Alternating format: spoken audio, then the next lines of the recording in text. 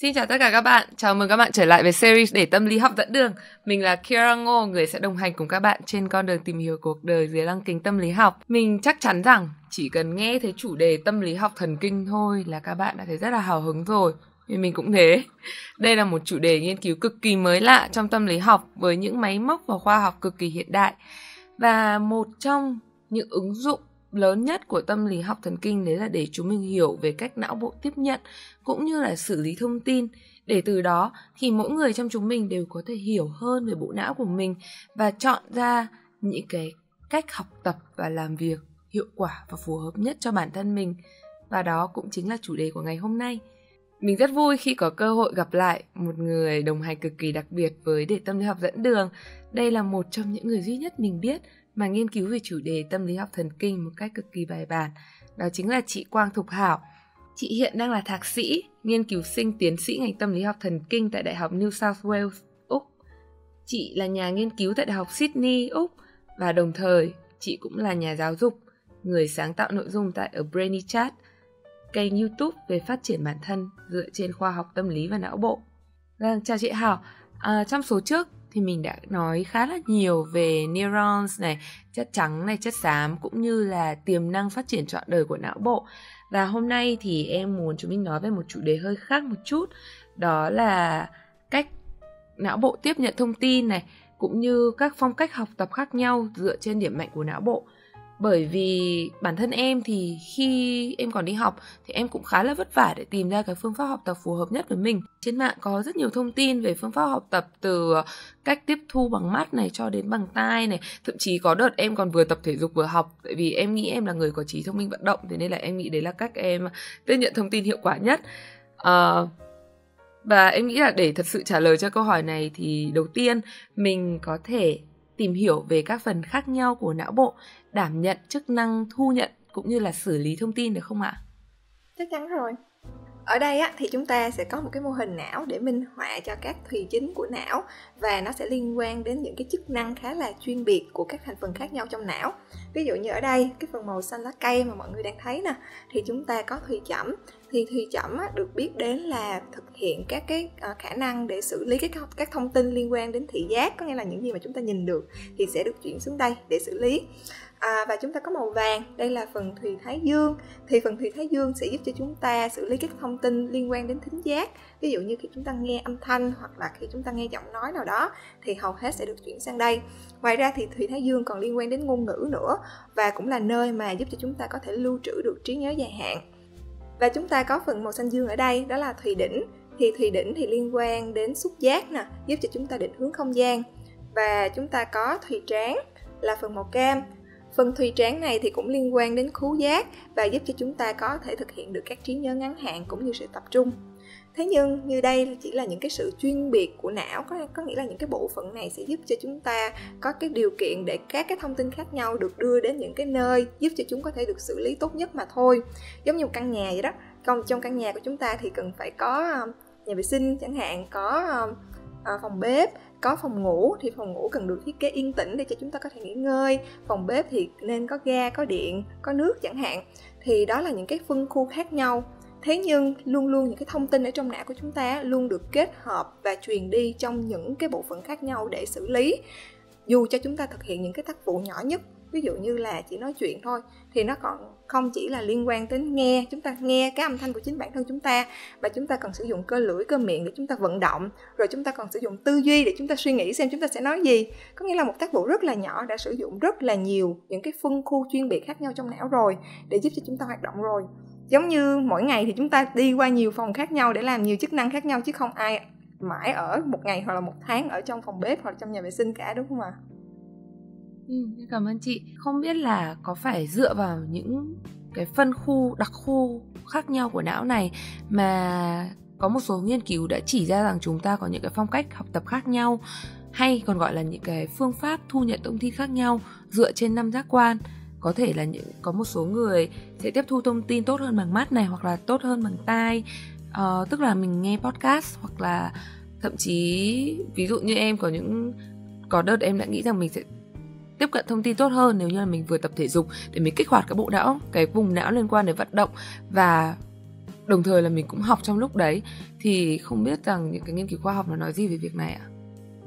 Rất là dễ để cho người ta liên tưởng giữa những cái phong cách học tập khác nhau với các cái cấu trúc của não bộ và nghĩ rằng đây chính là cái cơ sở cho việc chúng ta có những cách học tập khác nhau um, thế nhưng điều này không đúng rất là tiếc. Rất là nhiều nghiên cứu đã chỉ ra rằng việc mà um, chúng ta chia ra những cái phong cách học tập khác nhau á là không có cơ sở khoa học. Và cũng như quan trọng hơn là không có bằng chứng cho thấy rằng việc mà chúng ta thiết kế những cái nhà giáo viên hoặc là bản thân mình thiết kế cái cách để chúng ta học tập phù hợp với cái phong cách cái thiên hướng của chúng ta sẽ giúp cho chúng ta học tập tốt hơn. Điều này không có. Thế nhưng đáng tiếc đó là điều này được áp dụng rất là đại trà không chỉ ở Việt Nam đâu mà còn cả những cái nước phát triển ví dụ như Mỹ nữa. Như chị có giải thích ở trên đó thì những cái phân khu của não chỉ được thiết kế để giúp cho chúng ta có thể xử lý những cái thông tin chuyên biệt mà thôi. Thế nhưng khi mà chúng ta làm bất cứ cái gì thì các cái các cái phân khu này đều liên kết với nhau rất là chặt chẽ. À, ở người bình thường với những người mà không có rối loạn về não á, thì không có một cái phân khu nào mà phát triển áp đảo so với những cái phân khu khác cả bạn cứ tưởng tượng xem một căn nhà mà chỉ có nhà tắm thôi, hoặc là chỉ có phòng bếp thôi, thì nó không còn gọi là một cái căn nhà có thể hoạt động bình thường, đúng không ạ? Cho nên là chúng ta sẽ cần phải suy nghĩ về mặt là cái phương pháp hiệu quả nhất để giúp cho chúng ta có thể học tập tốt nhất, đó là nên kết hợp càng nhiều những trải nghiệm, càng nhiều các giác quan, càng nhiều những cái tư duy và kết hợp thêm với những cái phương pháp học tập phân tán mà chị có nói ở, tập trước để giúp cho chúng ta có thể học tập tốt nhất chứ không nên chỉ đưa bản thân mình vào gói gọn trong một cái phong cách nào ví dụ nghe hoặc là nhìn hoặc là vận động. Ừ, em thấy cái thông tin chị chia, vừa chia sẻ khá là quan trọng đấy là các nghiên cứu về mức độ hiệu quả của việc học tập sau khi mỗi người hoặc là như ờ, như một số nghiên cứu em có đọc đấy là khi mà các giáo viên có hướng dẫn học viên học theo đúng cái phong cách học tập mà họ đã lựa chọn, thì họ đã tìm ra rằng những cái học sinh đấy không có kết quả học tập tốt hơn là những học sinh chỉ học theo những cái phương pháp thông thường hoặc là được học bằng cả năm giác quan. Thì em nghĩ cái việc tìm kiếm những cái nghiên cứu như này rất là quan trọng, tại vì nhiều khi mình thấy một vài cái thông tin về não bộ nó rất là hay và mình rất mong muốn được ứng dụng nó ngay vào trong cuộc sống, nhưng mình lại quên mất rằng cái việc mình ứng dụng có hiệu quả hay không thì mình lại không biết. Mà mình sẽ mất thời gian và thậm chí là mình sẽ bỏ lỡ đi nhiều cơ hội học tập và phát triển khác chỉ vì mình sử dụng cái phương pháp học tập này. Uh, em muốn quay lại một chút về uh, một số cái hiểu nhầm về cách uh, phân chia phân khu não bộ. Vì uh, có một cái niềm tin đã tồn tại rất lâu trong uh, khoa học thường thức tức là khoa học đại chúng những cái thông tin khoa học mà mọi người thường xuyên tiếp cận. Đấy là những người não trái tức là phát triển mạnh hơn về não trái hay còn gọi là thuận tay phải thì sẽ mạnh hơn về mảng tư duy logic này cũng như là lập luận. Hoặc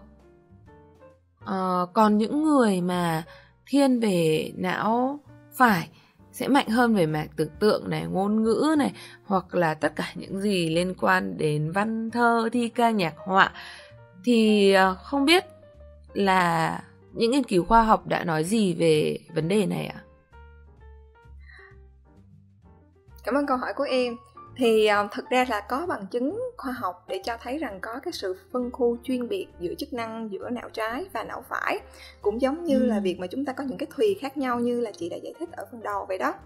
à, thế nhưng cái cái luận điểm về việc là não trái thì sẽ liên quan đến tư duy logic còn não phải thì liên quan đến tưởng tượng nghệ thuật đã tồn tại rất là lâu rồi và đã có những cái nghiên cứu đưa ra để kiểm để kiểm chứng lại cái ờ, lý thuyết này. Và các nghiên cứu này đã chỉ ra rằng cái lý thuyết này là không chính xác. Rất là thú vị luôn. Nhưng mà cái sự chuyên biệt về não trái và não phải vì sao chị nói là có là bởi vì thực ra não trái đối với những người thuận tay phải thì đóng vai trò rất là quan trọng trong ngôn ngữ còn não phải thì nó sẽ liên quan đến việc mà chúng ta nhận diện khuôn mặt về cảm xúc và về hành vi chứ nó không phải là não trái là à, tư duy logic còn não phải là tưởng tượng nghệ thuật đâu nha các bạn yeah. Dạ, ví dụ cho điều này á thì như phòng lab mà chị đang làm nghiên cứu á thì chúng tụi chị có tìm hiểu về một cái loại bệnh cực kỳ hiếm luôn ở những cái bệnh nhân liên quan đến việc uh, mất chức năng về ngôn ngữ do teo não. Thì ở những bệnh nhân này khi mà mình chụp hình cắt lớp não MRI á, để mình tìm hiểu về não của họ có sự thay đổi về cấu trúc như thế nào á thì một cái khuôn mẫu rất là rõ ràng ở hầu như tất cả những bệnh nhân này đó là não trái của họ bị teo đi rất là nhiều. Nó bị nhỏ hơn so với những người bình thường và nhỏ hơn rất là nhiều so với não phải thì từ đó từ những cái mô hình này mà các nhà nghiên cứu tìm ra được là não trái liên quan đến ngôn ngữ và não phải thì liên quan đến nhận diện khuôn mặt cảm xúc và hành vi. À à có phải vì bên ờ, tại vì theo như em tìm hiểu ấy thì uh, gần như tất cả các vùng đặc khu của não ví dụ như là vùng uh, amygdala xử lý thông tin về cảm xúc hoặc là vùng uh, thùy não chắn trước prefrontal cortex xử lý uh, các thông tin liên quan tư duy lập luận các thứ thì nó đều có ở cả hai bán cầu não. Nhưng sẽ có một số các bộ phận đặc thù mà nó chỉ có ở bên não trái và chỉ có bên não phải. Ví dụ như là vùng nhận diện khuôn mặt thì sẽ chỉ có bên não phải và vùng ngôn ngữ thì chỉ chỉ có bên não trái. Thì không biết là em nhớ như vậy có đúng không ạ? Dường như là như vậy. Có nghĩa là cái cái uh, ví dụ như là thùy thái dương đi ở bên trái của mình á thì liên quan đến ngôn ngữ. Nhưng mà thùy thái dương ở bên phải của mình á, thì lại liên quan đến nhận diện khuôn mặt. Đó là cái sự um, phân chia đặc thù giữa hai bán cầu não. Thế nhưng mình chỉ nói như vậy là tại vì ở những người bệnh nhân này là họ bị những cái vấn đề về lâm sàng rất là đặc trưng. Ví dụ như cái người đó họ chỉ bị về ngôn ngữ thôi em hoặc là có những người họ chỉ bị về nhận diện nhận diện khuôn mặt thôi mà họ không bị về nhận diện uh, ngôn ngữ. Do đó người ta mới tìm được cái khuôn mẫu về não bộ như vậy nhưng mà trong những người bình thường những người chúng ta là có cái sự phát triển về cấu trúc não tương đối bình thường thì hai bán cầu não giao tiếp với nhau thường xuyên liên tục và nó luôn luôn có sự kết nối. Ví dụ như ở đây chị có thể cho các bạn thấy là cái vùng này nè cái vùng mà chị đang đang đang um, đang ờ, chỉ ra nè đây là cái vùng mà chất trắng lớn nhất trong toàn bộ não của chúng ta luôn. Chỉ làm cái nhiệm vụ là liên kết hai bán cầu não lại với nhau thôi vùng này trong tiếng việt gọi là thể chai thì trong tiếng anh được gọi là corpus callosum. Thì đây là cái vùng mà liên kết thông tin giữa hai bán cầu não, cho nên là đối với những người chúng ta bình thường, cả những cái công việc rất là nhỏ à, học tập chẳng hạn, thì nó cũng đã sử dụng hai bán cầu não rồi. Và ví dụ chúng ta suy nghĩ về cảm xúc của bạn của mình chẳng hạn, thì nó cũng sử dụng hai bán cầu não luôn, chứ không phải là tách hoàn toàn ra một cách à, đúng sai được. À ừ, em nghĩ cái đây cũng là một thông tin rất là quan trọng để ví dụ như ai mà có người nhà là bệnh nhân có các vấn đề có các tổn thương về não bộ chẳng hạn thì mình sẽ tránh cái việc mình suy ra là à ví dụ như người nhà mình bị tổn thương vùng não A thì mất chức năng thì mất chức năng A thì mình sẽ cho rằng cái vùng não đấy sẽ đảm nhiệm cái chức năng đấy. Nhưng mà thực ra là không phải tại vì nó còn bị ảnh hưởng bởi rất nhiều yếu tố đúng không? Mình không thể nào mà suy suy ra một cách đơn thuần là như vậy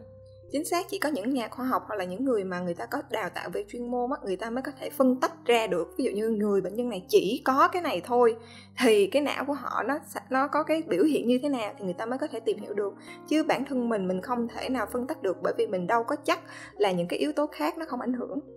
Nhưng mà đúng là có một số bạn, em có giải thích cho các bạn về cái sự thật não phải não trái như vậy, nhưng mà các bạn vẫn nói với em rằng, nhưng đúng là ở bản thân bản thân mình ấy, thì mình vẫn thấy rằng mình chỉ giỏi các môn toán lý hóa, các môn liên quan đến lập luận, tư duy logic. Còn đúng là những cái môn như kiểu văn vẽ nhạc mình nhìn là mình đã không thích rồi. Thế thì nếu mà không giải thích bằng não trái, não phải thì bây giờ mình giải thích bằng gì? Thì không biết là chị hảo có thể giúp em trả lời câu hỏi này được không ạ? Não bộ con người của mình á, như các bạn thấy là mỗi người của mình á, là đều có cái cấu trúc tương đối là như vậy. Nhưng mà tính cách, hành vi là cực kỳ khác nhau à, nếu mà chúng ta quay lại cái ví dụ là ngôi nhà của mình á là có những cái phòng khác nhau như vậy đúng không? Nhà nào thì dường như cũng có nhà vệ sinh cũng có phòng bếp cũng có phòng ngủ hoặc là góc ngủ chẳng hạn hoặc là góc học tập thì chẳng hạn. Thế nhưng đâu có nhà nào giống nhà nào đâu. Ngay cả những cái nhà mà họ xây dựng cùng chung cư cùng cái cấu trúc cùng layout chăng nữa. Thế nhưng mình vô nhà này sẽ khác với nhà khác người ta thiết kế hoặc cái cách người ta tổ chức cái góc nhà đã khác rồi. Thì giữa những người với nhau á, thì cái cách mà chúng ta có biến thiên về mặt tính cách về mặt um, thiên hướng về mặt sở thích là phải xảy ra ở mỗi người. Và việc mà một người nào đó họ có khuynh hướng thiên về một cái góc độ nào đó thì nó sẽ liên quan đến việc là sở thích của họ sở trường của họ nữa chứ không phải chỉ là liên quan về cái cấu trúc não của họ không đâu. Và một cái yếu tố thứ hai nữa mà chị nghĩ có lẽ cũng sẽ ảnh hưởng đó là niềm tin của chúng ta bởi vì khi mà chúng ta đọc một cái thông tin nào đó chúng ta nghĩ rằng à có sự phân tách giữa não trái và não phải liên quan đến tư duy logic. Và nếu cái người nào mà ừ, có tư, li, tư duy logic tốt thì người đó sẽ giỏi về um, não não trái của họ sẽ phát triển nhiều hơn. Thì khi mà họ có cái niềm tin đó thì dường như họ sẽ học nhiều hơn những cái môn liên quan đến tư duy logic. Và họ chỉ khám phá mình ở trong cái khuôn khổ đó thôi thì dần dần nó sẽ hạn chế những cái à, khả năng của họ để khám phá những cái thứ khác những thứ mới. Và họ không nhận ra rằng họ có thể giỏi ở cái, cái phần khác hoặc là họ có thể làm được những phần khác chẳng hạn. Thì cái niềm tin của chúng ta nó cũng có thể dẫn đến cái việc là chúng ta sẽ bị giới hạn về bản thân mình và giới hạn những cái tiềm năng mà mình có được. Ừ, em thấy thông tin chị vừa đưa ra rất là quan trọng tại vì đúng là nhiều bạn ngay khi mình mới vào cấp 1 hay là cấp 2 mà mình đã đọc những cái thông tin như thế thì tự nhiên mình có một cái ám ảnh rằng à mình sẽ chỉ giỏi ví dụ như ngày xưa em sẽ chỉ bị một cái ám ảnh là mình không giỏi toán mình không giỏi các môn về tư duy lập luận. Thế nên là khi mình nhìn thấy toán là mình đã oh, quá là mệt mỏi là mình đã không còn động lực để mình tìm hiểu hay là mình không còn cái hứng thú gì để mình học nó nữa rồi. Thế nên là vô hình chung mình lại giỏi về những cái môn liên quan đến xã hội hơn. Nhưng mà đến khi vào học đại học thì em mới thấy rằng à hóa ra là mình nhận mình nhận ra rằng các môn này đều có liên quan đến nhau. Ví dụ như là trong các môn khoa học xã hội hay thậm chí là kể cả khi viết văn thì cái việc mình tư duy logic để mình sắp xếp được một đoạn văn có một cái bố cục nó chặt chẽ và nó logic là một điều cực kỳ quan trọng thế nên mình không thể nào mình tách rời hai cái bộ kỹ năng đấy và mình lắp nó vào hai cái phần não. Chưa kể rằng cái phân tách não đấy nó còn là chưa đúng nữa. Thì em thấy thông tin chị vừa đưa ra rất là quan trọng để mình uh, thay đổi cái góc nhìn của mình về bản thân mình để mình không tự giới hạn bản thân mình trong khi mình còn chưa có cơ hội để mình thử về nó. Và ngoài ra thì à, khi à, nhắc đến các phong cách học tập thì cũng có rất nhiều bạn hỏi em rằng phong cách học tập của em là gì? Và bản thân các bạn đấy thì bạn, các bạn ấy có nhận ra rằng các bạn ấy có thiên hướng học tập tốt hơn khi tiếp thu thông tin theo một cách cụ thể. Ví dụ như các bạn ấy sẽ thích đọc sách hơn, hoặc là các bạn sẽ chỉ thích nghe podcast. Thì ở phía em, ở ví dụ của bản thân em thì em thấy rất là khó để mình thật sự hiểu về một cái thông tin nào đấy hay là thật sự nhớ về một cái thông tin nào đấy khi mà mình chỉ đọc lướt qua hay là chỉ chỉ nghe qua. Ví dụ như khi nghe nghe podcast thì em cũng cần nghe đi nghe lại này cần phải take note để viết ra giấy. Hoặc là ví dụ như khi, khi em đọc sách thì em cũng cần take note em cũng cần ghi chép và em cũng cần nhẩm lại ở trong đầu và suy nghĩ về nó paraphrase tức là tư duy về nó theo cái ngôn ngữ của mình thì em thấy rất là khó để trả lời những trả lời câu hỏi mà các bạn em đưa ra đối với các bạn ý thì chị có nghĩ rằng các bạn ấy nên nên phát huy tối đa cái phong cách học tập hay cái cách tiếp thu thông tin mà các bạn ấy đang có hay là các bạn ấy nên khám phá nhiều hơn các phong cách học tập khác nhau ạ? Ừ, một câu hỏi rất là hay và chị nghĩ là câu hỏi này cũng có rất là nhiều bạn thắc mắc bởi vì chị nghĩ rằng cái việc mà chúng ta tìm hiểu về bản thân của mình á thì lúc nào cũng cần thiết cả. Chúng ta biết được những điểm mạnh của mình cái gì chúng ta học tốt ở phần nào chúng ta không học tốt ở phương pháp nào thì nó rất là cần thiết. Chúng ta nên biết về bản thân của mình để chúng ta chọn lựa những phương pháp học tập phù hợp. Và điều đó chúng ta cần phải trân trọng chứ không phải chúng ta nghĩ rằng à chúng ta học cách nào cũng được hoặc là chúng ta buông xuôi cho việc học tập của mình à, với một người nào khác mà họ hướng dẫn phương pháp nào thì chúng ta cũng sử dụng à, thế nhưng chị nghĩ cái vấn đề cái ranh giới giữa việc mà nó sẽ đi đến sai lầm á đó là nếu như chúng ta biết điểm mạnh của mình và chúng ta chỉ giới hạn mình trong một cái điểm mạnh nào đó thôi. Ví dụ như nếu cái người nào đó học giỏi về việc mà họ phải vẽ ra để họ có thể tư duy bằng hình ảnh được thì họ cứ suốt ngày họ vẽ họ tư duy bằng hình ảnh và họ nghĩ rằng họ sẽ không học tốt bằng những phương pháp khác thì đó sẽ là một sự giới hạn mà chính bản thân chúng ta đặt ra cho mình bằng những cái niềm tin sai lệch do đó chị nghĩ rằng chúng ta nên kết hợp cả hai, hiểu được những điểm mạnh của bản thân mình, học cái phương pháp mà mình nghĩ rằng nó hiệu quả đối với mình thay vì mình phải đi theo người khác. Nhưng song song đó, chúng ta cũng hãy nên kết hợp thêm những phương pháp khác dựa trên cái phương pháp mà chúng ta đã có điểm mạnh. Ví dụ như nếu bạn nào đã vẽ tốt rồi, thì em cứ vẽ cái nội dung thông tin đó, rồi ngày mai em hãy thử sáng tác một cái bài hát, chế một cái bài nhạc nào đó chẳng hạn dựa trên cái nội dung học đó chẳng hạn. Để thử coi nó như thế nào coi coi thiên hạ có trầm trồ không đúng không? Hoặc là em cũng có thể um, giao tiếp cái nội dung đó với một người khác hoặc là xây dựng mô hình về cái nội dung đó thử xem nó như thế nào. Hoặc là nếu được thì chúng ta có thể kết hợp những cái phương pháp khác nhau vừa về thị giác vừa về xúc giác chẳng hạn. Hoặc là hồi xưa chị học á chị còn kết hợp cả phương pháp về ờ, khứu giác nữa cơ. Ví dụ như là khi mà mỗi lần mà chị học cái môn đó vào cái giờ đó thì ở dưới sân trường của chị á, là bán ờ, bạch tuộc nướng rất là thơm. Và dường như bây giờ mỗi lần mà chị nghĩ về cái mùi bạch tuộc nướng á, là chị nghĩ được cái nội dung của cái cái bài mà chị đã học cách đây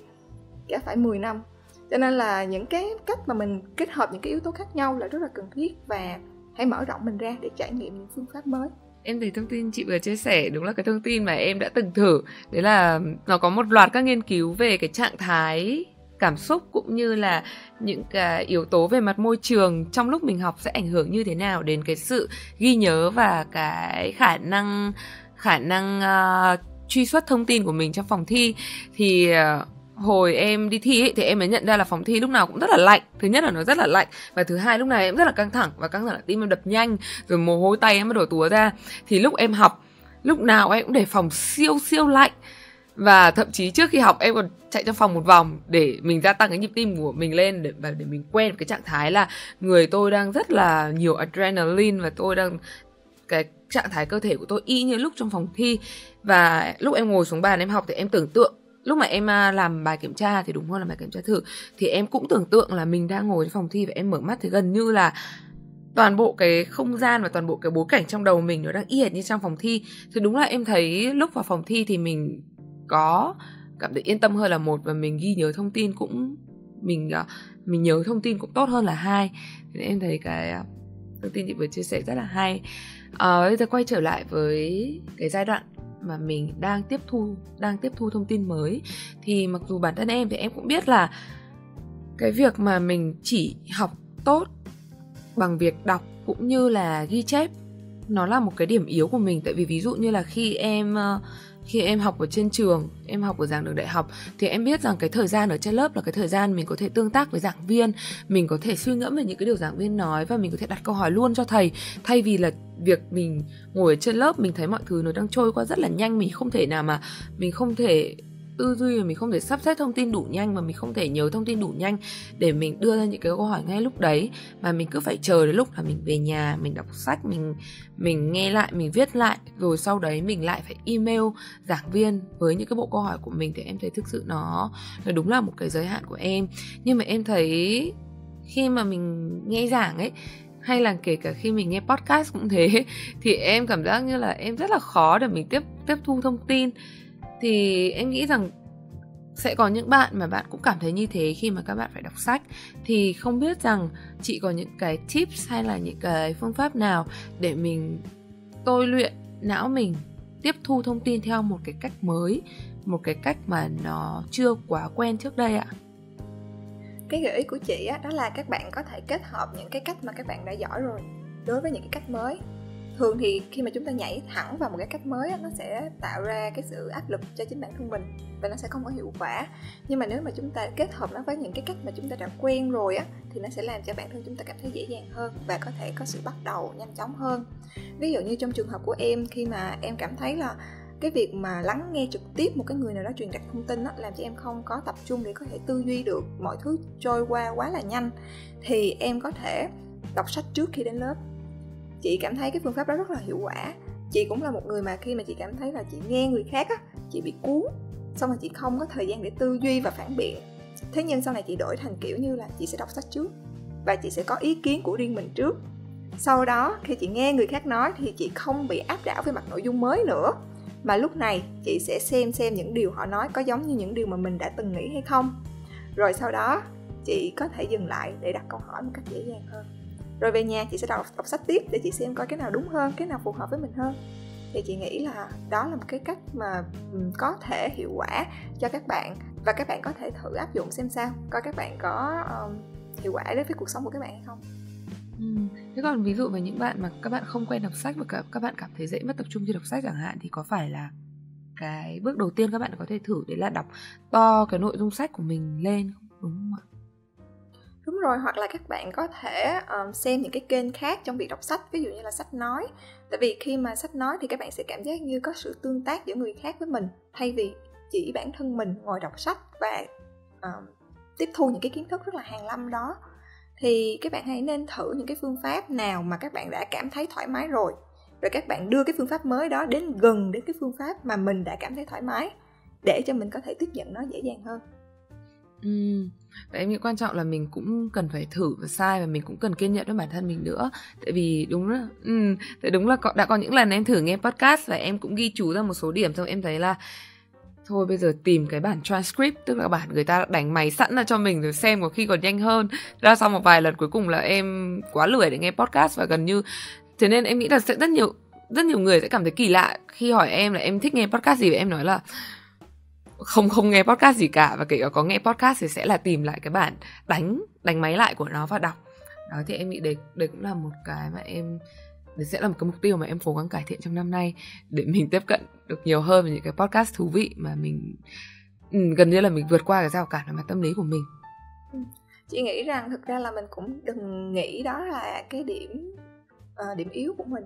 Bởi vì bản thân chị cũng là một người không thích nghe podcast chị nói thực sự như vậy. Tại vì sao? Tại vì cái phong cách của podcast đó là thường mọi người sẽ chia sẻ những cái gì mà liên quan đến trải nghiệm cuộc sống nhiều. Nhưng mà những cái đó khi chị nghe thì chị cảm thấy như là bản thân chị có đã có cái sự đúc kết đó rồi á. Chị cảm thấy như là họ nói những thứ mình đã biết rồi. Còn nếu họ nói những thông tin mới đó, thì chị lại cảm thấy rằng chị nghe chị xem youtube hoặc là chị xem những cái gì có mặt hình ảnh chị cảm thấy thích hơn. Chị muốn kết hợp giữa việc nghe và việc xem và những cái giác quan khác nữa nó sẽ giúp cho chị học tập hiệu quả hơn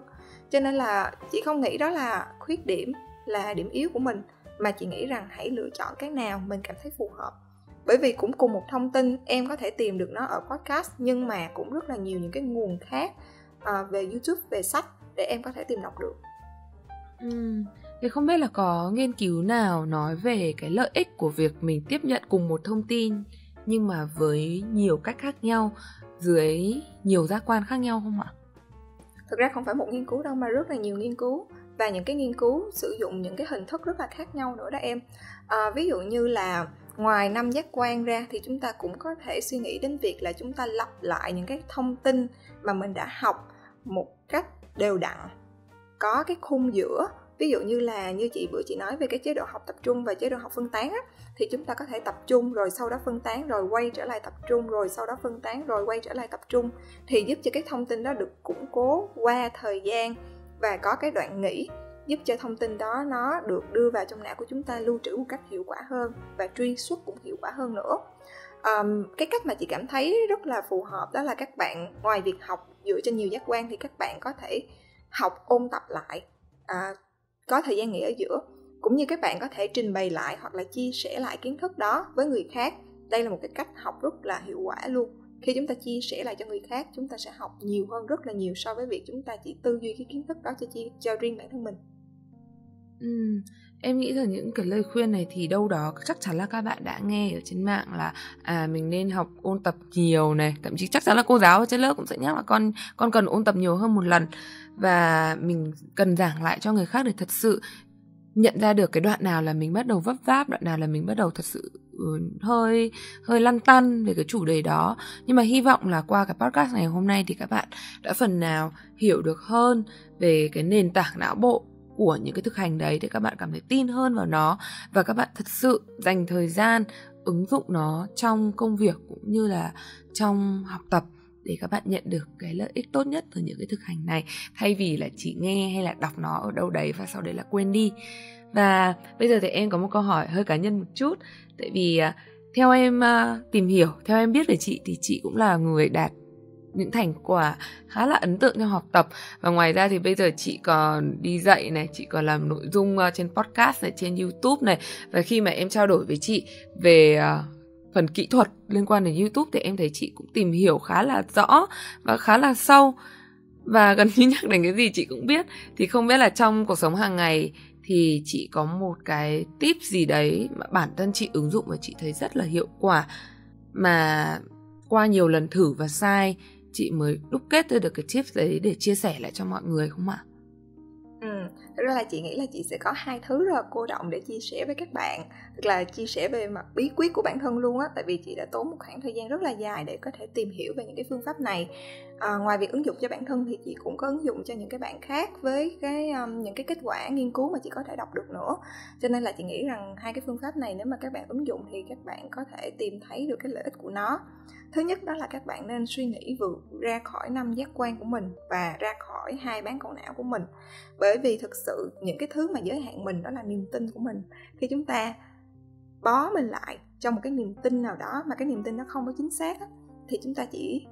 quanh quẩn ở đâu đó thôi chúng ta học theo một cái cách nào đó thôi mà chúng ta nghĩ rằng cái giới hạn đó là giới hạn cho mình rồi. Thế nhưng khi chúng ta nhảy ra vượt ra khỏi được cái đó chúng ta mở rộng bản thân mình ra để học nhiều phương pháp hơn làm nhiều thứ hơn thì các bạn sẽ tìm thấy được những cái niềm vui mới những cái chân trời mới trong học tập. Và đó chính là cái cách quan trọng nhất để chúng ta luôn luôn học tập và phát triển bản thân như là cái tiêu chí mà học tập trọn đời thì khi mà chị học á chị luôn luôn tìm những cái cách mới. Mặc dù chị biết chị là một người học thiên về thị giác là chị thích nhìn nhưng mà ngoài nhìn ra chị còn làm những cái thứ khác nữa. Ví dụ như là à, chị sáng tác những cái bài về để chị ngồi chị đọc cho người này người kia nghe xong rồi chị chọc người này chửi người kia. Về nội dung học luôn chị sáng tác thành một cái bài về để chị cảm thấy nó vui vậy thôi. Hoặc là chị cũng vẽ những cái biểu đồ hoặc là những cái xây dựng những cái mô hình. Như hồi xưa chị học về mô hình về não á ví dụ như cái biểu đồ mà chị đã cho các bạn xem á, thì chị lấy những cái trái cây khác nhau để chị làm thành một cái hình não. Sau đó nó giúp cho chị nhớ được rất là dễ dàng về những cái nội dung hàng lâm và rất là trừu tượng đó. Thì đó là cái cách mà chúng ta hãy nghĩ vượt ra khỏi những cái giới hạn mà người khác áp đặt cho mình về việc học tập, mà chúng ta học tập hiệu quả. Ngoài ra thì các bạn cũng không cần phải giới hạn trong bộ não của mình đâu, mà các bạn có thể suy nghĩ những cái cách ở bên ngoài để giúp cho mình lưu trữ thông tin để mình tìm lại dễ dàng như bản thân chị chỉ có một cái hệ thống được gọi là bộ não thứ hai. Nếu có dịp chị sẽ chia sẻ với các bạn nhiều hơn. Nhưng mà là một hệ thống những cái thứ xung quanh để giúp cho chị học tập tốt hơn và tìm hiểu nội dung tốt hơn. Giúp cho não của chị không cần phải lưu trữ quá nhiều thông tin nữa mà từ nay não của chị chỉ tư duy thôi chỉ suy nghĩ những cái gì quan trọng thôi. Còn những cái thứ mà à, không quan trọng lắm mà chúng ta có thể tìm lại bất cứ lúc nào thì sẽ lưu trữ ở đâu đó ở bên ngoài. Và cái cách thứ hai rất là quan trọng đó là chị học. Ngay cả khi chị không cần học ví dụ như khi mà Kira hỏi về um, podcast hoặc là quay YouTube chẳng hạn thì ngay cả trước khi chị làm kênh YouTube của bản thân mình là chị đã rất là để ý khi mà người khác làm những cái bài YouTube của họ ở trên um, trên kênh YouTube. Ví dụ như chị xem những cái video thì chị rất là để ý xem là người ta làm cái góc quay này đẹp quá người ta làm góc kia đẹp quá. Chị không thực sự học đâu nhưng mà chị để ý và chị cảm thấy cái nào hay và chị có cái ấn tượng về nó ở bên trong mình đến khi mình làm thì tự nhiên tự dưng mình sẽ nhớ lại nó. Và chị nghĩ đây là một cái cách rất là quan trọng khi mà chúng ta kích thích sự tò mò tư duy của bản thân mình thì chúng ta mở rộng mình ra khỏi cái vùng trời kiến thức của mình những cái chuyên môn của mình để chúng ta tiếp nhận những cái điều mới mẻ trong cuộc sống này. Và khi mà chúng ta học từ cái việc chúng ta không học á thì chúng ta cũng nên chia sẻ nó lại cho người khác. Như hồi nãy chị có nói là chia sẻ lại cho người khác là cái điều mà uh, mình sẽ hiểu hơn về nội dung á thì khi ra có nói là các bạn có thể đã biết rồi nhưng mà các bạn chưa thực hành, thì chị cũng có một cái gợi ý cho các bạn, đó là các bạn có thể dạy lại hoặc là chia sẻ lại cái nội dung của mình đã biết cho người khác. Trong cái tâm thế là mình đang chia sẻ cho một đứa trẻ 8 tuổi, có nghĩa là một cái đứa trẻ mà nó chỉ có bao nhiêu đó kiến thức thôi, nếu 8 tuổi thì nó chỉ biết những cái thứ rất là cơ bản trong cuộc sống thôi, thì mình sẽ diễn giải với nó như thế nào để nó hiểu được và khi mà mình có thể dùng những cái ngôn ngữ đơn giản để dạy được cho một đứa trẻ 8 tuổi thì có nghĩa rằng mình đã rất là hiểu về nội dung đó rồi và mình rất là rõ ràng với chính bản thân mình về tư duy của bản thân mình rồi. Thì nó sẽ giúp cho mình uh, nhìn thấy mọi thứ trong cuộc sống này nó thông suốt thay vì mình sẽ bị cảm thấy uh, tắc nghẽn ở đâu đó khó chịu ở đâu đó nội dung không thông nhưng mà mình phải cố gắng chấp nhận nó. Thì đó là hai cách chính mà chị nghĩ rằng mình có thể kết hợp lại để làm cho mình có thể tư duy và học tập hiệu quả hơn và học tập suốt đời ừ rất là cảm ơn câu chuyện cũng như là những cái bài học mà chị đã mất rất nhiều thời gian để đúc rút. Và qua những chia sẻ của chị thì em cảm nhận như, và như chị cũng vừa xác nhận đấy là mình cần một cái sự tò mò. Và chính vì mình có sự tò mò đấy, thế nên là khi mình tiếp cận với bất kỳ thông tin nào liên quan đến một chủ đề nào mới, gần như là mình sẽ luôn ở trong tâm thế sẵn sàng để học. Khác với việc là mình đi học ở trường và mình thấy một cái bộ môn nào đấy và mình có một cái mindset, mình có một cái tâm thế là tôi phải học để tôi qua môn, hoặc là tôi phải học để tôi lấy tín chỉ, hoặc là tôi lấy tôi đạt đủ điểm ở cái môn này. Thì ngay khi mình có cái suy nghĩ như vậy thì gần như cái môn học, cái việc học nó đã trở thành một cái gánh nặng. Chứ nó lại không phải là một cái niềm vui, nó không phải là một thứ mà chúng ta làm vì cái sự phát triển của chính bản thân mình nữa. Thì không biết là chị có lời khuyên nào cho những bạn mà các bạn đang phải đối diện hay là các bạn đang phải học những cái chủ đề hay là những cái bộ môn mà các bạn thật sự rằng chẳng thấy đóng góp gì trong cuộc sống của mình hay là các bạn cũng chẳng thấy tò mò gì với cái chủ đề đấy không ạ?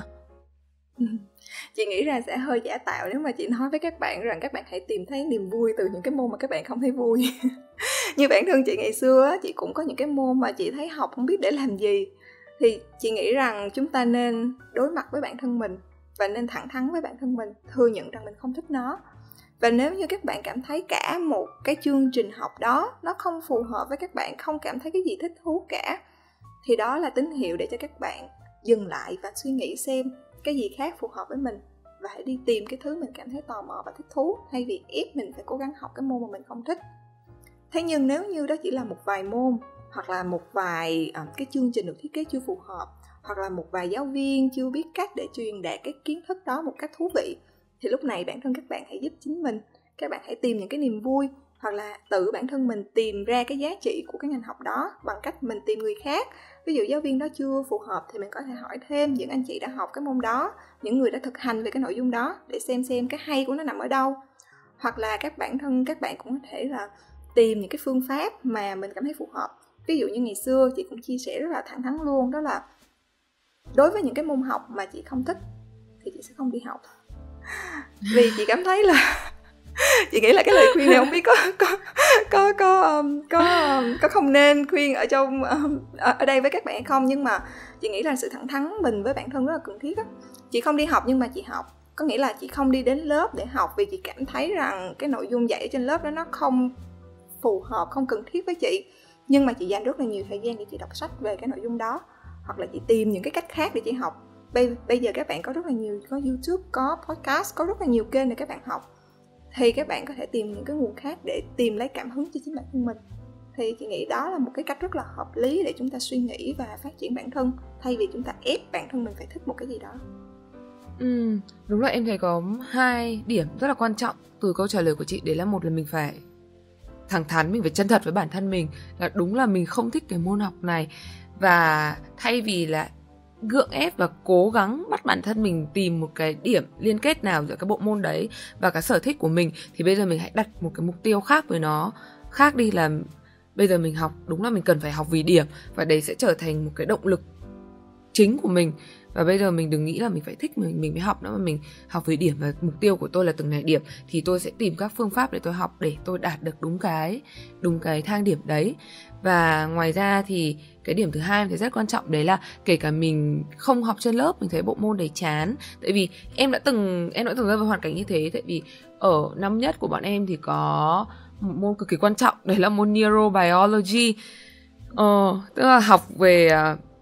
tâm lý học sinh học học về nền tảng sinh học của tâm lý thì đấy là năm đầu tiên em tiếp cận với các bộ môn này. Và thầy giảng thầy thực sự thầy giảng rất là khô. Và mình nhìn thấy thầy mình nghe cái tông giọng này thầy nghe thấy tông giọng của thầy thôi mình đã không muốn đến lớp. Thì năm đấy em hoàn toàn em không lên lớp em không hề lên lớp môn đấy. Em không xuất hiện một buổi nào ở trên lớp. Và ở nhà thì em theo dõi Khan Academy là một. Em theo dõi uh, Crash Course là hai. Và em uh, Google về những cái thông tin liên quan đến bộ môn học đó ở trên Google là ba. Và em cứ tìm thấy cái gì hay những cái gì uh, uy tín những cái gì có nhiều hình ảnh và những cái gì mình cảm thấy là mình có thể tiếp thu được thì em học và và đúng là em dành khá là nhiều thời gian để học cái bộ môn đấy ở nhà. Và kết quả cũng khá là tốt em em rất là vui khi nhận được cái kết quả của môn đấy. Và hồi đấy đúng là em có một cái may mắn là trường em không uh, check attendance trường em không uh,